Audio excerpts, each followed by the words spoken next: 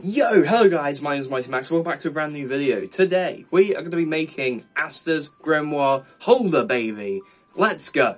It's super easy to do as well, like, I thought this was going to be a big build. It's pretty simple to do, and uh, if you guys have seen how to make my Grimoire already, definitely, definitely, um, just, I want to say thank you, and also, if you haven't made it already, check it out in the description below, because you will not be able to make this just Jesus, like how how good, how good is that? It just looks great. Anyway, you won't be able to make that unless you've made the grimoire. So, guys, I highly, highly suggest, unless you already have a book of your own, make sure to check out the link in the description for how to make the grimoire, which is what is being held by the grimoire holder. You guys, like, you just have to check it out. It's got like five and a half thousand views, and it's dope. Thank you guys so much for that many views, by the way. I love you all. That's great. Thank you. so, first off, we're experimenting with some different lighting today. I'm just using my, uh, my blind, and it's yellow, and it's making me look quite yellow today, so thanks, I guess. Anyway, if you think something looks a bit off about me, that's probably what it is. Uh, just the light is quite yellow today, but try not to be too uh, distracted by that. Anyways, guys, let's go through the parts, shall we? It's pretty, pretty simple. Uh, I'll have a diagram up on screen. To be honest, I'm not gonna uh, say like go down the description to get templates for this one. But I will say though, very quickly, if you want to go in the description below, check out my Patreon guys. The first two people to subscribe to my Patreon will get a free cosplay prop but it has to be something that I've made before, otherwise I can't guarantee you the quality. uh, but yeah, so the first two people to subscribe to my Patreon uh, for this month will get a free cosplay prop. So hopefully you guys will have some incentive to subscribe to my Patreon. Whew, I just had to sprint up some stairs. God damn it. On top of that, guys, by the way, I should probably mention, um, the other incentive is that all of my templates are uploaded on Patreon. So if you want to subscribe to my Patreon, you get all of my templates for free. You get more of me and you get more of my Patreon. You get more of everything. You get more you get free templates. Like you pay a fiver a month in dollars. you pay like a fiver a month in dollars and it only costs like three pounds in the UK. Guess what, baby? You get all my templates for free after that. For the month. How nuts is that? Like, you've got cosplayers out here, or, uh, you know, builders, trying to get you to pay, like, £7 per template? Are you joking? I'm gonna sell all my templates for free if you only pay £3 or $5 a month subscribe to the Patreon, guys. That's where you get all the templates from. But for this video specifically, there will not be a template, and here's why. There will be diagrams shown, and maybe a template type thing, but it's not necessarily like a it's not a template that I'm going to sell or anything like that. Um, it's simply a diagram just to show you how to put it together, because when I made this video, uh, I recorded everything, swear to God, swear down, I recorded everything, but guess what? My phone corrupted two files, and it happened to be when I glued this together, which really sucks, and it also happened to be when I cut out these pieces. However, it's pretty self-explanatory, but I'll show you in the diagram how it's all put together anyway. It's pretty simple.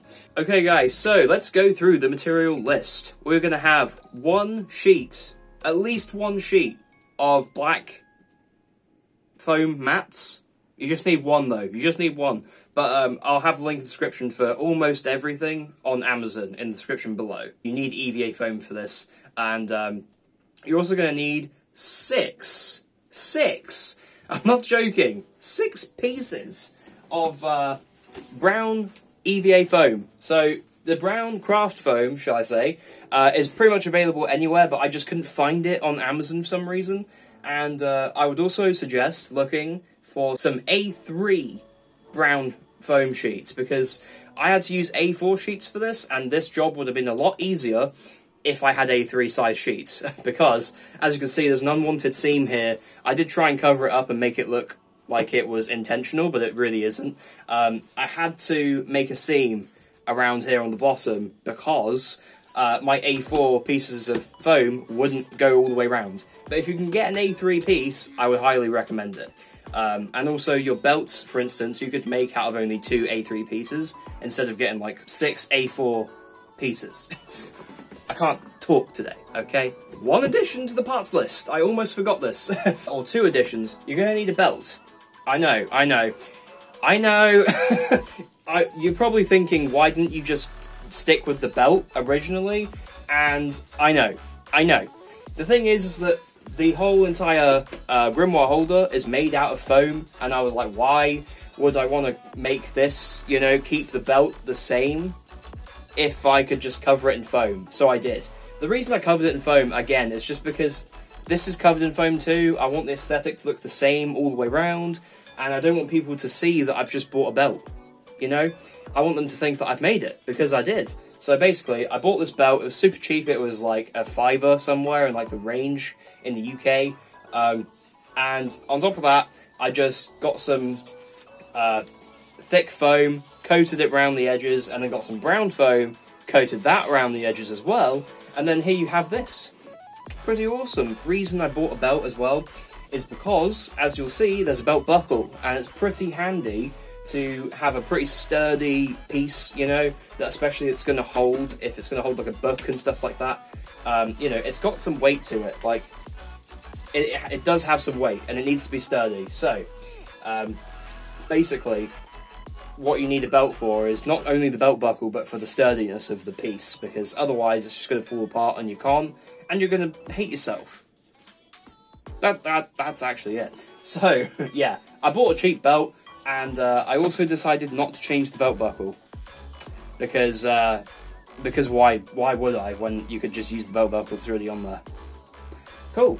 And uh, on top of that, guys, you're also going to want to get some metallic markers. You could use spray paint, but I think spray paint's probably more expensive. Just buy a bronze metallic marker. That's what you need.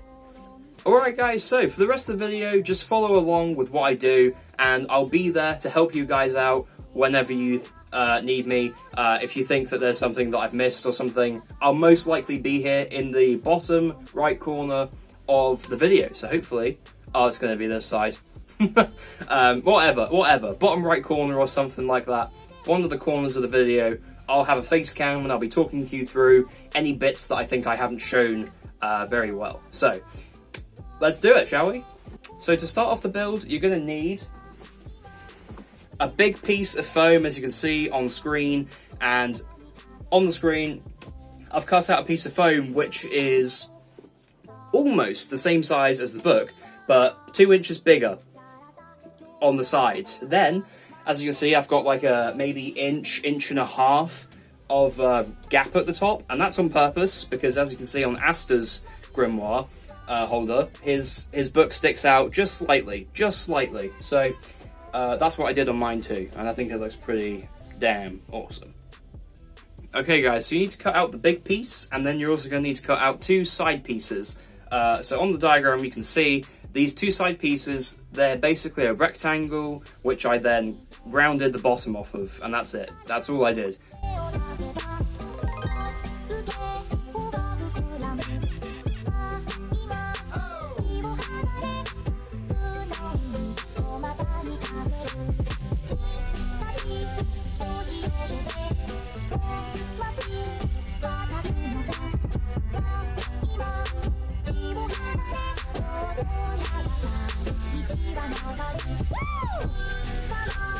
Alright, now that you've cut those two pieces out, or three pieces I should say, that was four. Once you cut those three pieces out, you then want to coat it all in leather. Huh? Leather, you say? I thought I thought you didn't mention leather at the beginning. No, we're turning our foam into a leather look foam, and it's going to look great. So, guys, make sure that you watch this part because it's really important. If you don't have your leather look foam, it's not going to look right. I promise you, it would look 10 times better if you tried to make your foam look like leather for this project. Okay, so to turn your foam into a leather look, it's pretty easy actually. All we need to do is get some tin foil, crumple it up, and then re-flatten it, so it should have this texture along it.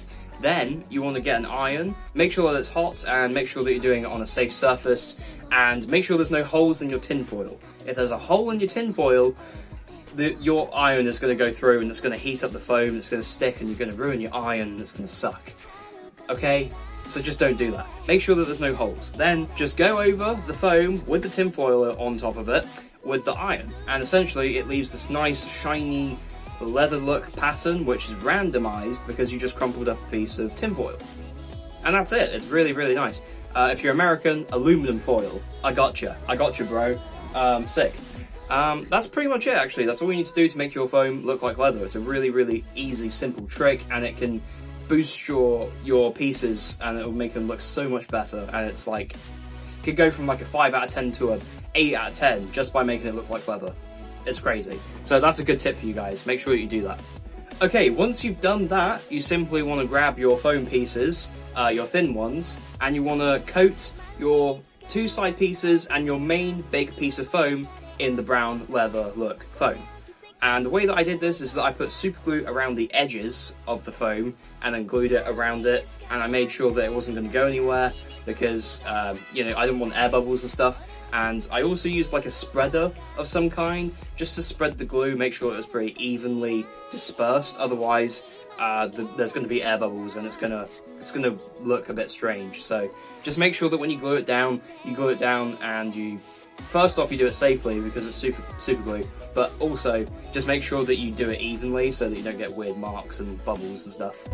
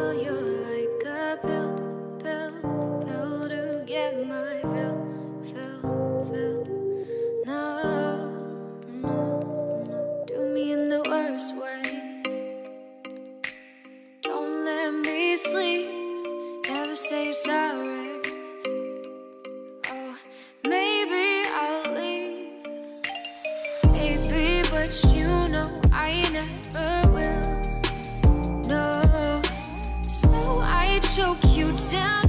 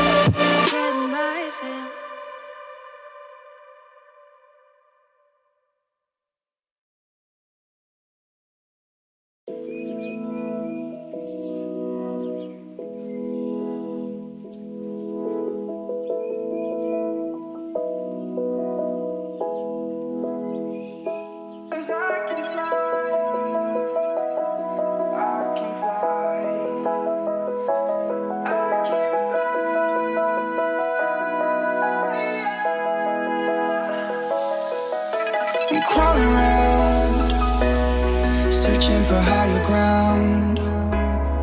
Can't see in front of me, my enemies. I've tried every possibility,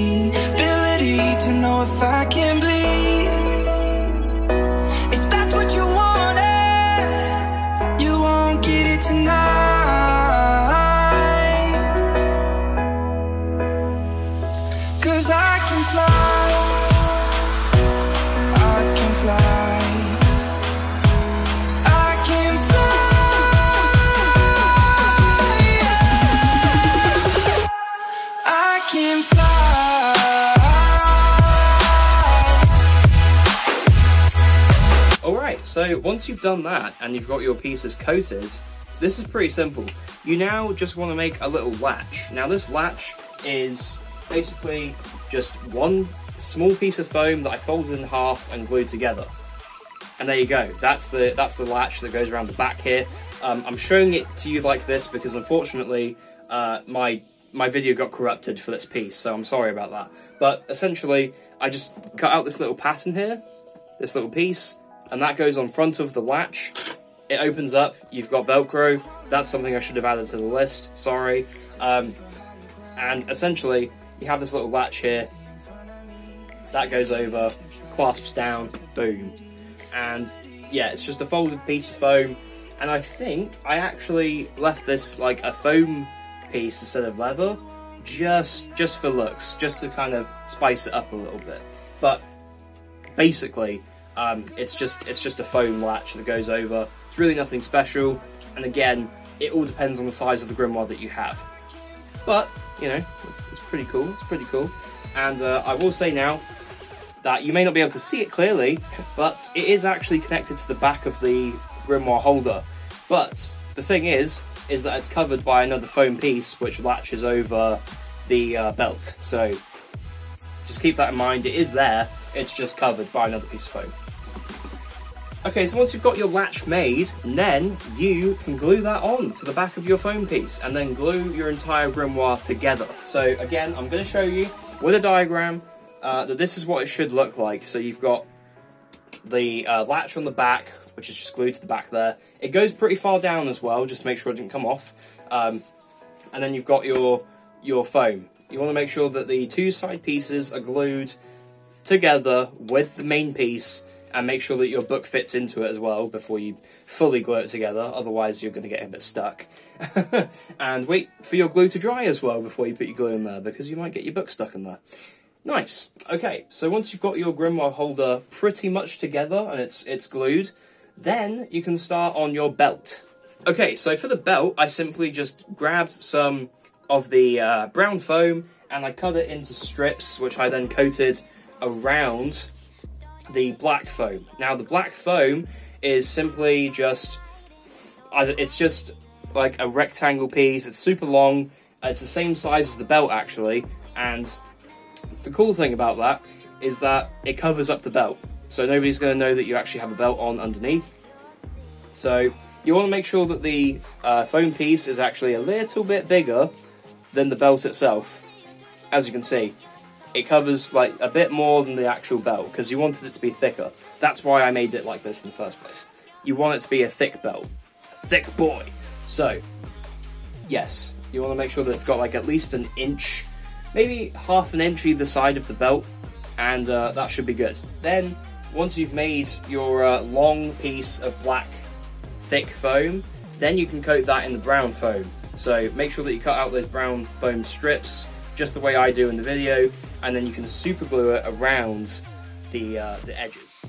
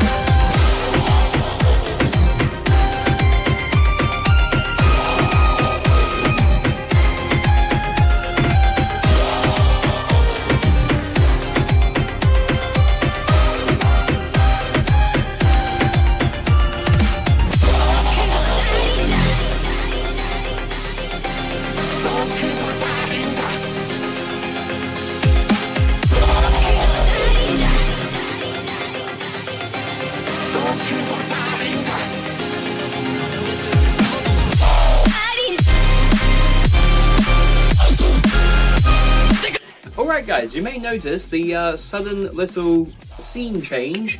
I've actually moved upstairs now. So in the background you'll see I got my poster, I got my uh, my foam back wall, I've got my shelf up here that you can't really see in this shot. But essentially I've moved everything upstairs now into my room where I can get everything made and uh, just do it in you know peace and quiet in my own space. Uh, so I moved everything upstairs, and you may notice that the quality of the footage actually looks a lot nicer. So yeah.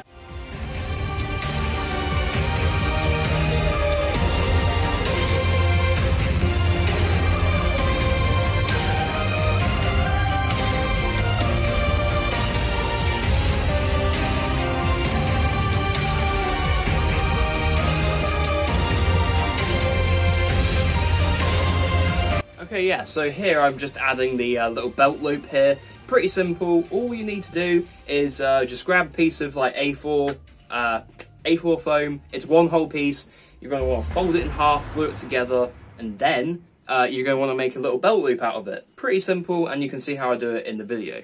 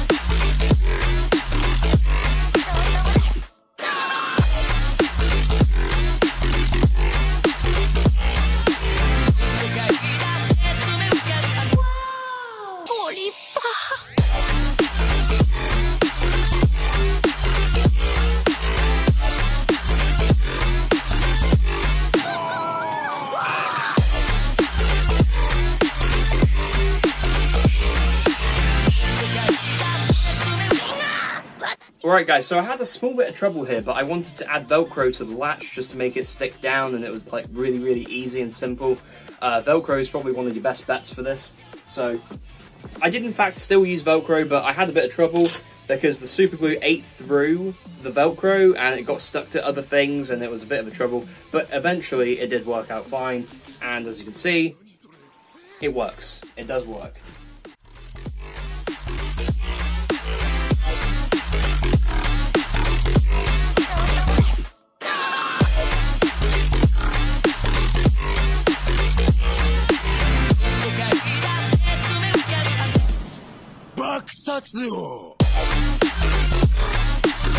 Okay guys, I'm not sure if I showed this in my video or not, I really have no idea. Uh, but I did also make some belt loops. Now the belt loops are totally useless, they're not there for any reason other than to hide the seams, because as I said before, I only had, um, oh this seam's covered by the way by the, that seam's covered by the belt loop, and then you just got a couple of uh, extra belt loops here. They're simply to cut, just to hide the seams, so they're not really useful at all. They're just there to hide seams to make it look like it's one whole belt. So I added those at some point. It might have got corrupted, but I added those just as a just as a tip. 全てを見比べて遊び羽振りよく増やした強力ありとあらゆるものを捨てたり身に覚えのない運命に殺されかけたこともあったし死んだ目をして生きた時期それでも今日も生かされてるってことは What's going on? ならそうやり残してんだろう幸せのしょうのない日々の中で What's going on 人とは違うと認めた上で可能性のルーツを開く。Oh Dreaming 石がそう四角い空心の隙間埋める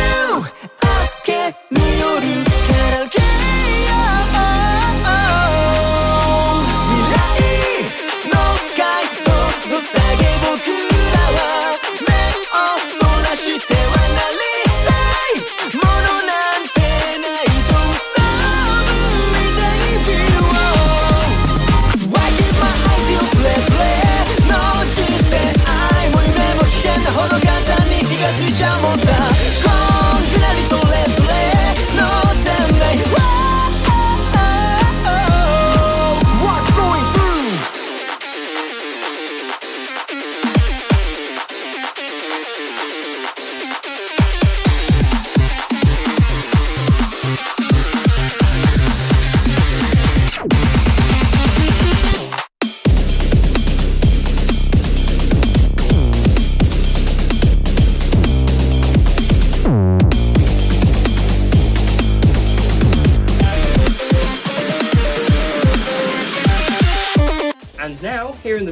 I'm actually making uh, this little piece right here. So it's just a little, um, it's a little like bronze piece. that goes on the end. You can see it on, on the uh, picture here of Asta's Grimoire holder.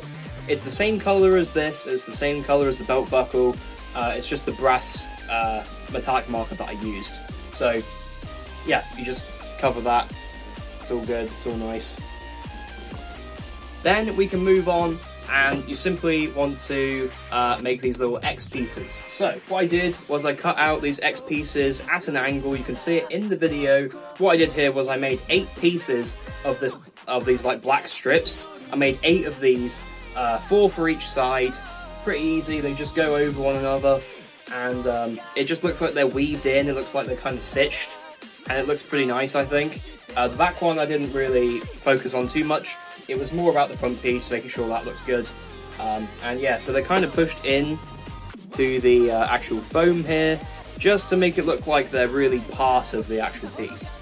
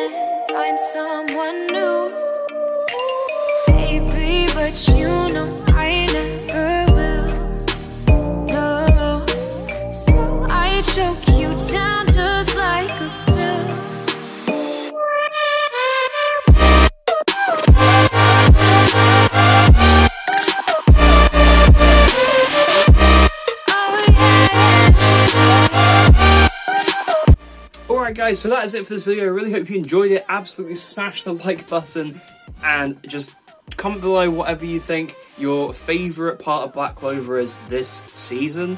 Uh, I guess it's not really a season, it's an ongoing thing, but you know what I'm talking about. Um, just your favourite part of Black Clover, ever.